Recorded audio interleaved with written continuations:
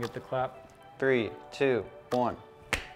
Great. That was horrible. That was a weak ass clap. My dude. hands aren't working. It's pretty sad. I don't know what to do. Like we my actually have a slate that we could bring in and use. If we only had a slate. I'll do this one. Okay, here we go. All right, three, two, one, go. That was like Perfect. perfect. Like we planned that. Like we know what we're doing. I'm gonna throw shit. Just kidding. I got this at Universal Studios, and I don't want to break it. Uh, hey guys, It's another Tech Tuesday. another Tech Tuesday here, and as you can see, we're I'm talking stoked. about Dude, my favorite thing is stuff. tape. tape. Literally, when I was a kid, my dad gave me a whole stocking full and like 30 rolls of duct tape, and I loved it. And now all we do with our jobs is play with tape. And Yeah. It's awesome. Like you made duct tape wallets and stuff, right? Oh, I, duct tape wallet. I made a whole entire ski resort out of tape in my dad's office, and the chairlift actually worked. Like you could move the chairlift. all tape, ever. Okay. Did you make duct tape pants? I didn't do that. Yeah, I had I friends. that. I had friends in high school I did made like duct tape pants. duct tape little bags or like, yeah, the whole 10. But underwear. Duct tape underwear. just wrap a bunch of tape around you. That would hurt. It would hurt coming off, dude. That would hurt. Someone's tried it. Let us know how it works. No, we're talking about the film industry and what tape does for you in the film industry. I know when I first started out, I didn't really know what it was or like where. Hang on, you didn't know what tape was? You just said your dad bought you. Don't listen to Charles when we do these videos. I'm coming at you guys with a lot of good information and he's just gonna be over here supervising. um, but no, really, I was like gaff tape, paper tape, tape's tape. Can I just go to the store and get colored tape? There's painter's tape at Home Depot. What's the difference? What do you use tape for? And there were so many questions that when I showed up to my first job, I had completely the wrong tape. I had nothing that I needed, and I spent money on places that I didn't need to spend money on. So hopefully we can answer a few of those questions for you today. And if you're new AC or new into the camera world, you're not gonna waste some money or do some things that you wouldn't need to. Yeah, so let's break it down and let's talk. Let's talk about two of the biggest types of tape that we use on set and their differences and why you better not get them mixed up. I don't know if I have one, a paper one that is in the wrapping still, but uh, gaff tape. Gaff tape is sticky, sticky, sticky, sticky, and rough. Paper tape is essentially paper. The best way to describe this is it feels like painter's tape. Yeah. That blue stuff you get, or purple or whatever. And um, gaff tape is really grippy, I more like can- a duct tape. It is like if you can see this on the close up, Alex. Uh, so like paper tape kind of has like this grid inside of it versus the or sorry, did I say gaff? Gaff tape has a Gaff grid, tape has the grid and it's like, fabric type texture. it's like a fabricy duct tape type of material, and paper tape is smooth and has more of like, you know, painter's tape type of material on it. a little And- bit of a shine. and that's about the difference. This stuff is like gaff tape is like duct tape and it is not messing around. And then paper tape is kind of like the throw it away, use it all the time for whatever the random stuff is. Yep. So you're, of what the you're probably like, do I need gaff? Do I need paper? What is gaff used for? What is paper used for? It's pretty simple, guys. Anywhere that you don't want any residue or any trace of your tape being, paper tape. Any place that you are more like, say, outside, dirtier surfaces, maybe you have a harder time making the tape stick, uh, you don't want it to get kicked around as easy, gaff tape. If you're on painted walls, really nice hardwood floors, paper tape. If you're out in the street, uh, sidewalk, garage floors, gaff tape. Yeah, Uh, you don't want to mix them up. And oftentimes I hear new people that are starting out in the industry and they're like, oh, just grab some gaff tape and, and Just put it tape. on there. Just grab some gaff. Everybody says gaff because they also don't understand the terminology. There's only one gaffer on set. Um, but there's gaff tape is used for the same things that like you don't want that crap to come off. It will rip the varnish off of a hardwood floor. Yep. It will rip the paint off of a wall. It will break stuff. it destroys things. Honestly, like gaff tape, anything you want to take Gorilla Tape or duct tape to, don't put Gorilla Tape on. Now it's it's not as intense, but very similar, especially when it's all day with studio lights heating it up, environments change, and then you go to just rip it off. Like I've seen so many people ruin people's houses and cars and different things, guys, when they use gaff tape. It's all about the paper, paper tape. Most of the situations when we're on set and when people ask for gaff tape, they really want photo black paper tape. Two inch. And uh, this stuff that's called photo black specifically, that's a brand new roll. Do we have one that's not like A bunch of them. a brand new roll? That one's new. well, you Um, don't want new. I don't. But anyways, way. photo black. There's also different qualities of paper tape. There's the really cheap uh, paper tape that you can get online, like on I think it's this stuff actually. What is is the that? really cheap stuff? Is that ProGaff or no, nothing? it's not. It's So yeah, if there's nothing, there's a few different brands. I would recommend ProGaff. They also make paper as well, um, or Pro Console, um, but the And Pro it's- brand. It's like the difference of like three or four dollars per roll. So you but don't want this. Yeah. This as an AC, horrible. Now let's talk about tips and tricks of how to avoid this and what to look for when you're taping. Yeah. Um, but I don't want to jump around because there's so much to talk about with tape. There's still other types of tape. Real quick, uh, we have electrical tape. Electrical tape would be used for scenarios such as taping things onto your camera. a lot of the times we use like red and uh, blue electrical tape to uh, gear. We'll take like little strips, uh, one inch strips, and just attach everything for A camera and B camera. Um, this is great for, it sounds silly, but like as AC stuff, you're always ripping up your fingers, so you can just roll it around your fingers real quick like a Band-Aid. Um, Band-Aids. Band-Aids, it helps a lot.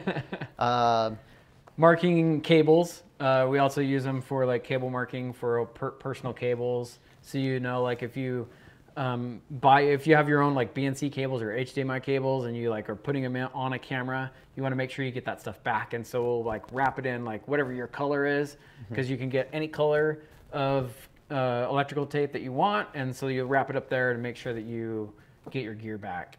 Uh, you'll throw it on hot media, um, different things. So if you're looking at what tape should I get, where should I start, um, you'll see a bunch of different sizes. There's even gaff tape that comes this small. What would you use this for? Different scenarios, guys. If you want just a smaller, low profile piece of tape where you don't necessarily want it to just be this huge long piece of tape on the floor, this stuff is great. You can make little marks with it. What I would recommend when you're like, okay, I'm gonna be an AC.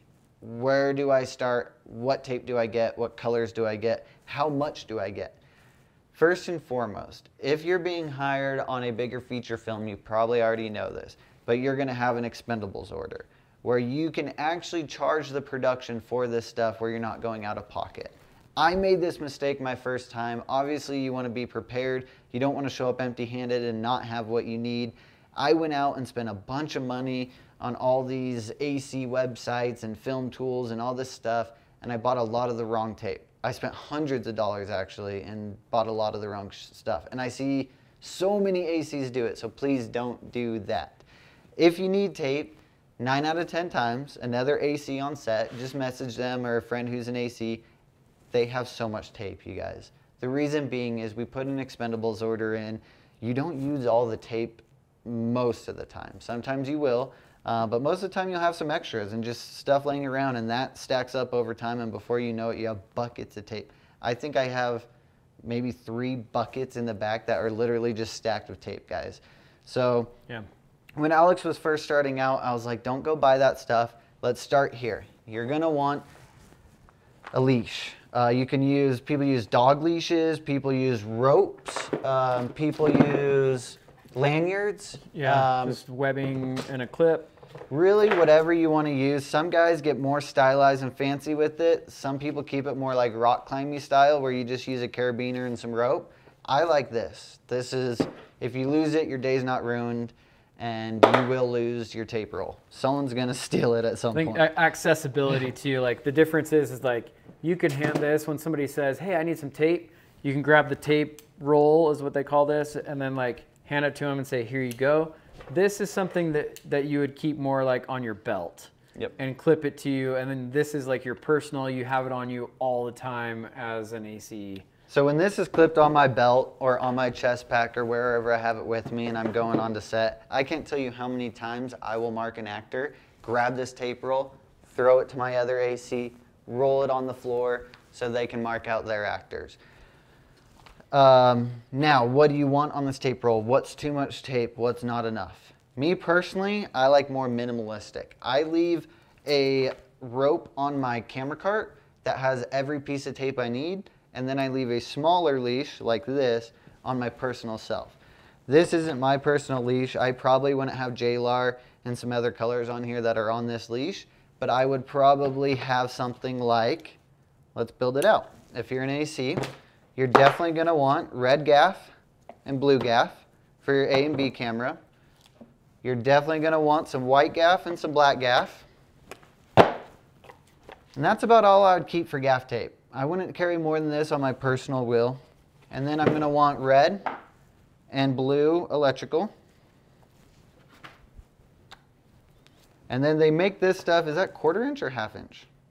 Quarter. Quarter inch. Um, and I normally Maybe just keep, I don't know. Yeah. But I just keep uh, like a red and a white um, on you. This is for in a situation where someone needs an eyeline mark or needs a mark to see or needs a mark and you don't want to use gaff. Maybe a big piece of paper tape is going to be too invasive. I like this skinny stuff. Um, Spike tape, right? Is that what it's called? Yeah. yeah, a little spike tape. Um, and then realistically, I'll probably throw maybe like one other paper tape on here to be safe.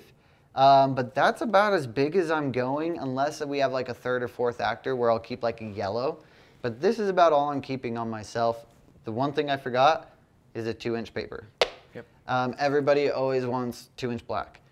So that's about what I would keep on myself as an AC. Um, now, one thing you can consider if you're like, holy crap, all that tape. Once you use a tape uh, wheel to about half, that's when I'll throw it onto something like this. So that way you're taking up about as half as much on your short leash, and then I'll keep my brand new tape rolls on my cart. So that way this is a lot less invasive. They so also have options out now that are smaller cores as well, and so you can buy. I, they do cost more. That's the only difference. Um, but you can get the smaller cores, and then if that's what you like, keep on your belt when you're running around, so that way you don't have like these massive thing But- attached to your belt. I'm gonna be that guy. Nothing's more annoying than having an AC who has like a little leash with like eight of these little guys on there, and then you need a mark and they're going like, and they're fiddling with this little piece of tape. That to me as an AC, I'm probably not asking you to come the next day. And to Um, that though, why don't you show them? There is a proper way of pulling tape off, and it's that right there. And So- you can you can show them why. And it, yeah, go ahead. Well, no, with that though, it's it's true though. If you're on set, practice. If you're being an AC, practice this. You pull it, you turn it while you have your thumb on it, and it kind of creates this little diagonal. Then as you go down, it gives you an angle to rip it off of. Then you have a tab. Yep. Um, there's guys on set that can like, and they'll have like three pieces of tape before you know it, and you're like, what the hell just happened? And they're already tabbed back on their belt. Yeah, and you can Um, see like all of our tape is already tabbed because we use it all the time, um, and it's just the best way. So that way you're not sitting there trying to like fumble with it and get it off. I can't tell you how many scenarios I've been in. You're probably gonna laugh when I say this, where somebody, your your key gaff, will be like, "Hey, I need two inch black, uh, uh, three four inch piece," and there'll be like an AC going like this. There'll be another electrician like looking for the closest tape wheel, and there's always that one guy who has his wheel that goes. And in that moment, your key gaff's going, that guy is on it. He has my back. Now, as the AC, you may have been listening the whole time and fully prepared, and you're right there standing, but having that, like those set ears and knowing that's the situation and knowing you have it right here makes you that much more of a, a reliable asset Yeah. on set. And people pick up on those little things, and that's the difference of getting hired as an AC and not. Um, there's been ACs that just marking people and taping people alone, they will never keep this on them. That it's always at their bag or it's always over there, it's always at the cart. And then, uh, you know, your DP or your director will be like, can we get marks? And then as a first AC, you're calling to your second, they're running to go get their tape. You just look like clowns and it doesn't look good. So be on your stuff, practice marks, know what tape does what, know what tape sticks good. Don't be that guy that rips off paint in a brand new house that they're renting. And don't ruin someone's hardwood floors. And remember, A or A actor is red, B actor is blue. You mean actor number one? Actor number one, red and blue, guys.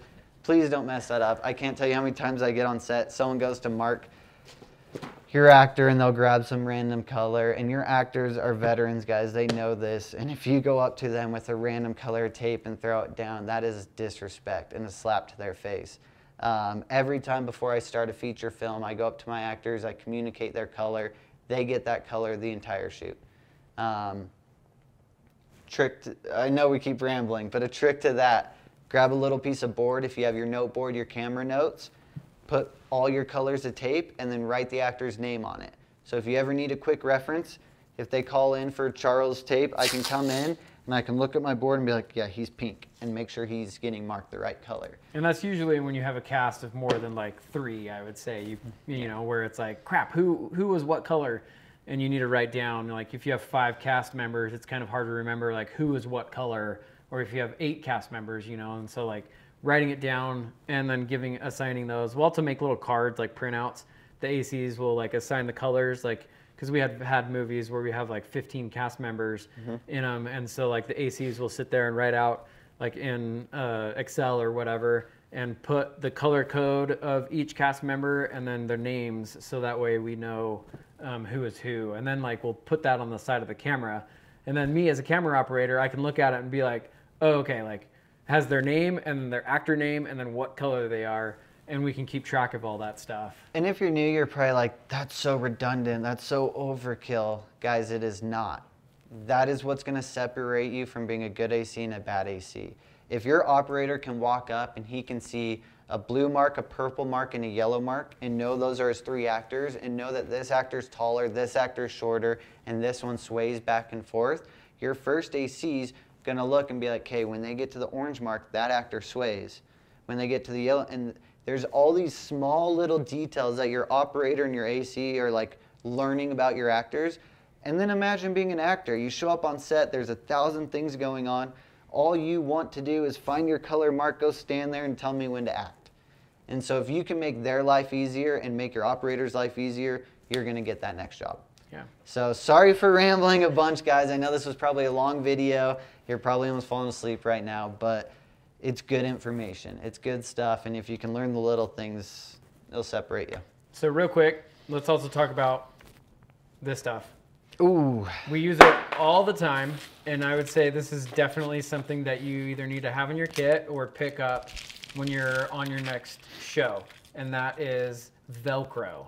Velcro. And specifically Velcro that has the sticky um, on the on the sticky. It's tape? like it's like sticky glue. It's like uh, it's yeah. a it's sticky. I don't know what you call it. Um, Velcro tips, sticky. Tips and tricks for this, guys. um, on your slate, throw some pieces of Velcro for like slate tab numbers on your matte boxes for your camera tags. Um, anything that you're replacing a lot and doing quick stuff, Velcro will be your best friend. We use Velcro all the time, like all the time. Like if you're in a situation where you just need to slap something onto a camera, it's Velcro. So what's the rule? So the soft stuff is always gonna go on your camera bodies, your monitors, your different things that you're gonna attach things to. And then your sticky stuff, your rough things are gonna go to like camera tags, patches, and different things. And the main reason for that is if you're wearing a chest pack or different um, things like filter bags, they have the soft stuff and you can actually stick your tags inside of those filter bags. Um, or if you have a sweatshirt you don't care about, you could literally just stick a few on your sweatshirt, you're in a pinch, throw your camera tag there, mess here, then put it away. So makes it really easy to really attach it to any and everything. Yep. We actually keep this stuff like If you look at our Pelican cases to our camera carts, there's like soft Velcro everywhere. We just strip this stuff everywhere. Um, I like it on like Pelican corners too. If you don't want to beat stuff up, if you're going into a house that you don't want to scratch stuff up, this makes good little bumpers for corners and soft edges. Yeah, we use it like on in on our Steadicams actually. We'll put it in between, like we'll mount the soft side to the gold mount plate or a V-mount plate. Yep. And then when you put the battery on there, it's like a little buffer so the battery doesn't shake. Because you don't want any wobbling when you're doing the Steadicam stuff.